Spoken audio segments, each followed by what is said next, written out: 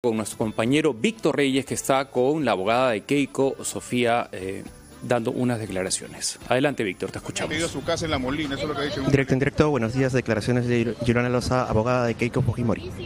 que ha salido de su patrimonio y ha hecho el aporte. Ahí no hay lavado alguno, señores, entiéndanlo, no hay lavado de activos, basta de perseguir a la señora. Algunos detalles que ha dado el señor Rodríguez, ¿no, le parece a usted que, no, no hay lavado, no hay lavado de activos, o sea, por favor, no hay... A pesar de la entrega de dinero en una maleta, usted sostiene que no hay lavado de activos. No hay lavado de activos, ¿por qué? El lavado de activos requiere como componente esencial que la fuente sea ilícita. En este caso, el señor Pérez interrogó al señor Vito y el dinero no es de fuente ilícita, el dinero es de fuente ilícita, así que no hay lavado. Gracias. ¿Ha mentido la señora Fujimori respecto a que dijo que no conocía los aportes Nosotros económicos? tenemos como derecho en cualquier momento poder manifestar ante la Fiscalía oralmente o por escrito.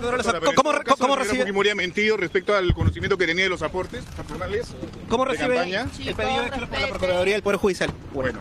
Bueno, está, eh, buenos días, Mauricio Mabel. Eran las declaraciones de la abogada Loza a su salida de la audiencia en la que se evaluó el pedido de comparecencia con restricciones contra ella y otros abogados por presuntamente haber entrenado a, aportantes, a falsos aportantes de Fuerza Popular para que mientan sus declaraciones a la Fiscalía. Se le preguntó también sobre eh, el testimonio de Víctor Rodríguez, el dueño del Grupo Gloria, sobre el dinero que le habría entregado en efectivo en una maleta a Keiko Fujimori.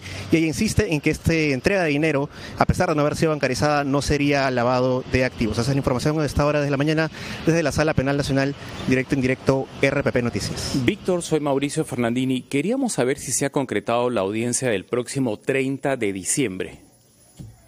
Sí, Mauricio, eh, como, lo, como, lo, mencionábamos temprano, como, eh, eh, hoy día estaba programada una audiencia, esta audiencia de comparecencia con restricciones eh, para Yolanda Loza y otros abogados. Sin embargo, al inicio de la audiencia, el fiscal José Domingo Pérez, que estuvo presente acá también, él dijo que desde entonces, desde que hizo el pedido original, que fue todavía el año pasado, han presentado nuevos elementos de convicción, en este caso, contra los abogados investigados, y por eso él había pedido que para que la defensa de estos investigados pueda conocer cuáles eran estos elementos, que tenemos entendido que son declaraciones de testimonios, declaraciones testimoniales, se reprograma esta audiencia. El juez lo evaluó por unos, por unos momentos, eh, consultó a las partes involucradas y finalmente decidió reprogramarlo para el 30 de diciembre a las 9 de la mañana, también acá en la Sala Penal Nacional, para que finalmente se vea este pedido, o sea, se pueda resolver este pedido de comparecencia contra estos abogados que viene desde el año pasado, que inicialmente se presentó ante el juez Concepción Carguancho, al juez Concepción Carguancho lo recusaron este año, lo asumió el juez Víctor Zúñiga y hoy día finalmente el juez, juez Víctor Zúñiga vio este pedido, lo analizó y bueno, finalmente lo ha reprogramado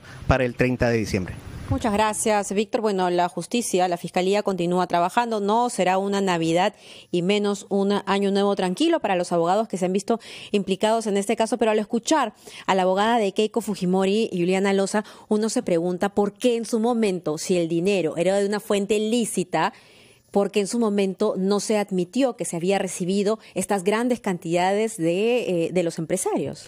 Y transparentar la información en qué se gastaron 3.650.000 dólares. Si haces una campaña es muy fácil saber cuánto cuesta el toldo, cuánto cuesta la portátil. Esta gente que ustedes ven vitoreando tiene un sueldo, no todos van de corazón, ¿no? Entonces, nada, recibí esto y lo gasté en esto, una rendición de cuentas transparente sí, como, algo, como algo sin duda no, ¿no? encaja y eso, eso, es lo que está finalmente, a, a eso está apuntando. Claro, porque de eso salida, se desprende ¿no? también evasión tributaria o desbalance patrimonial, que son otros delitos que en principio entrarían en la denuncia que algún día formalizarán los fiscales, ¿no? Pero Están levantando Fujimori, información. Valgan verdades, a Keiko Fujimori ya le han hecho investigaciones por desbalance patrimonial y ahí sí, en ese caso no le han encontrado nada. ¿no? Pero hay nuevos elementos. Si hay nuevos elementos, ¿no? entonces que se con, continúe Con ingresos bien sustantivos, como al para final, volver a investigar, ¿no? Claro, no se final, sabía lo de Dionisio sí. Romero ni lo de Víctor Rodríguez, entonces sí amerita una nueva investigación. Lo que todos queremos es saber la verdad.